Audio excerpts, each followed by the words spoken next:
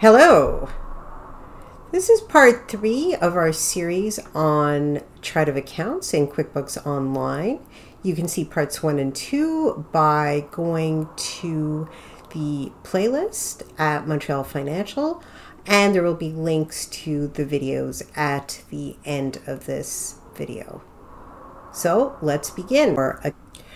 Rather than enter accounts individually, QuickBooks Online has an option where you can import a chart of accounts.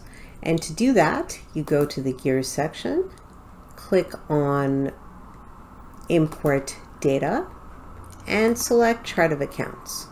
Here, they actually give you a sample file that you can use to format your chart of accounts. And really, what you need is the name and the account type. So I have actually already created a chart of accounts uh, to import, and we will go through that process together.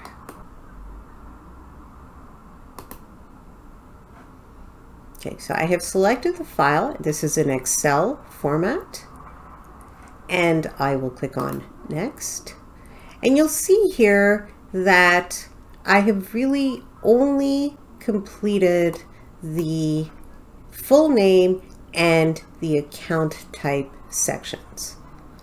I'm a bit lazy. The detail type isn't really that important.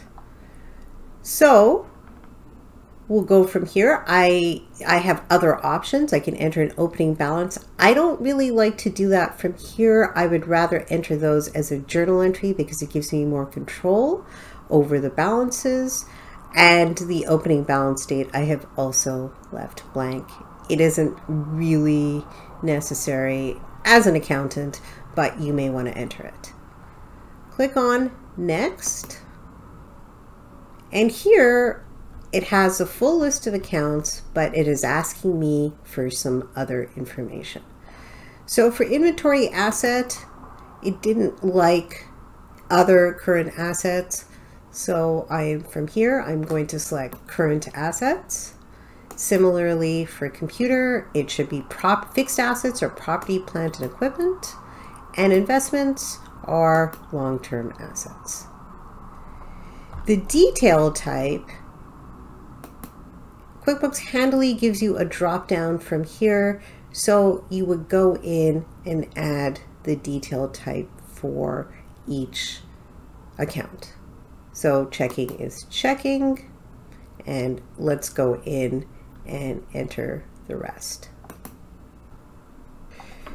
So I've gone in and entered all of the detail types from the drop down and you can see that I have chosen the detail type that is closest to the type of account that I have set up.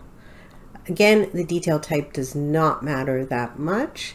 If there's a, a detail type that you can find within the dropdown that's close, that's great. If not, in terms of expenses, you can always use Office General Administrative Expenses as the detail type. So these are the groupings.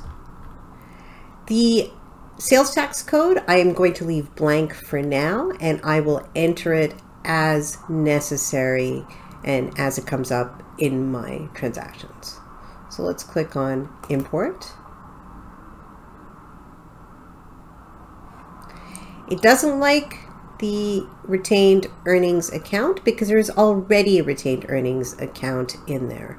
So we can just leave this out, close it, leave without saving.